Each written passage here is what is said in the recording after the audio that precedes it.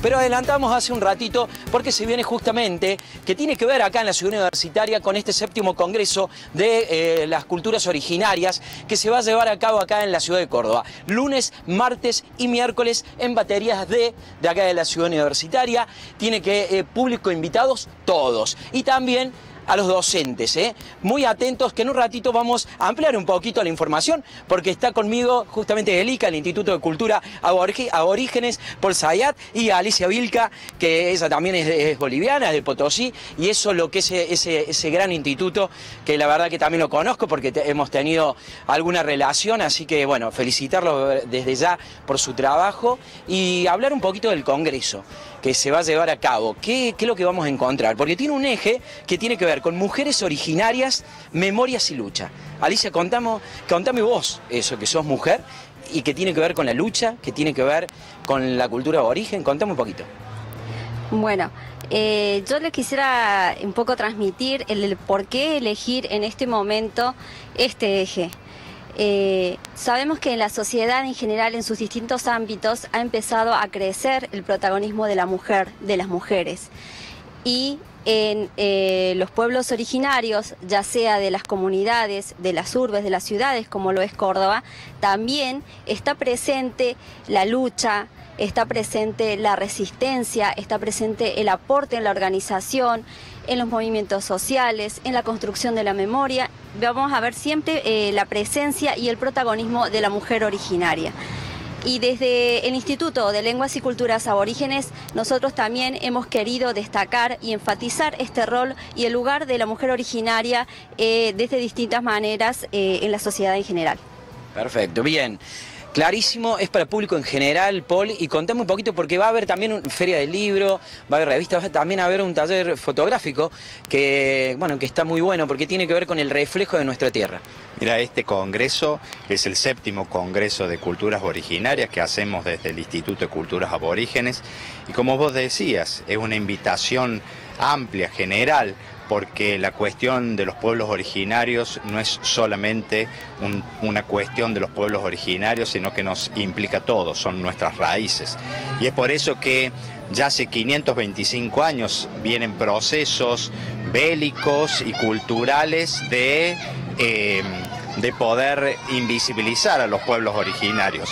Y hace 25 años se cumplieron los 500 años de la llegada de Colón y hace 25 años el gobernador en aquel momento, cuando un sector de la sociedad se prestaba a, a festejar el encuentro de dos culturas, dijo que no había aborígenes en Córdoba, no había pueblos originarios en Córdoba.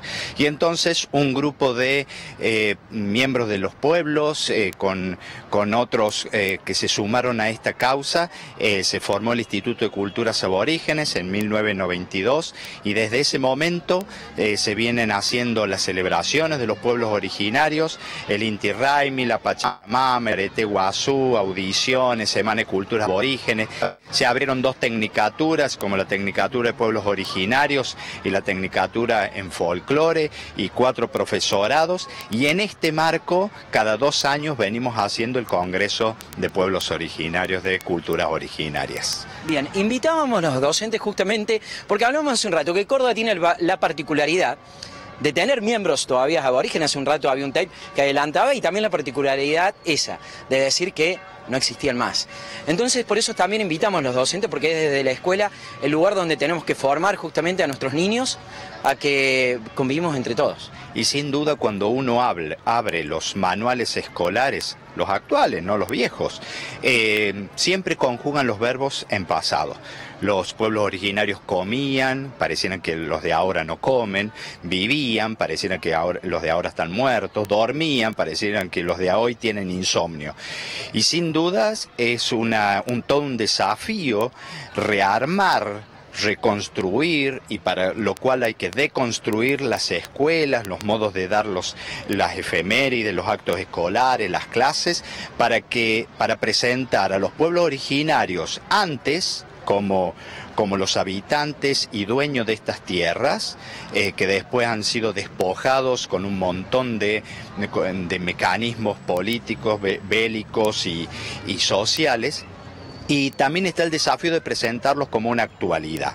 Y no solamente un antes y un hoy, sino tampoco un allá lejos, porque hay veces cuando uno piensa el tema de pueblos originarios, lo piensa en otro país, lejos, en otras provincias y no aquí en Córdoba, que tiene una fisonomía particular porque esta provincia es particular, tuvo sus propios eh, procesos. Y también está el desafío, no solamente antes sino hoy, no solamente allá, sino también acá hay pueblos originarios, sino también es una cuestión no solamente de ellos, sino poder construir el nosotros, involucrarnos porque son las raíces de todos nosotros. Así es, la raíz de todos nosotros. Bueno, invitamos al público en general, invitamos a todos los docentes, ¿a dónde se tienen que inscribir? Mira, el congreso va a ser, como vos dijiste, lunes, martes y miércoles, el 9, 10 y 11 de octubre, en la Universidad Nacional de Córdoba, en baterías D de la ciudad universitaria. Allí mismo se inscriben y el Ministerio de Educación, a través de la red provincial de formación docente continua, otorgó puntaje también para los docentes que eh, hagan el congreso. Por lo tanto, aquel que haga el congreso tendrá un puntaje también propio de la red para las de calificaciones según los niveles. Pero la invitación también es amplia para todo aquel actor social, todo vecino, todo miembro de una escuela o no, está invitado al Congreso poder gustar estos espacios de reflexión, no reflexión solamente con la cabeza, sino con el corazón, como decía eh, Galeano, con el sentipensar o el cosmosentimiento, poder convidarlo mutuamente. Bien, la dirección del Instituto de Cultura Aborigen para poder llegarse a inscribir eh, se pueden inscribir en La Rioja 2115 en Alberdi hoy o si no directamente ya el lunes a la mañana desde las 8 de la mañana ya ahí en baterías de ese ya se pueden inscribir en el Congreso. Muchísimas gracias Alicia, muchísimas gracias Paul. Así es, se viene el séptimo Congreso de Culturas Originarias, en la cual todos tenemos que ser parte porque todos somos nosotros, como adelantamos hace un ratito. Así que no nos perdamos esto y ampliemos un poquito la mirada porque más allá de nuestro pupo, más allá de lo que vemos, hay otros, otros pupos y otras caras y otras miradas, así que las miremos juntos.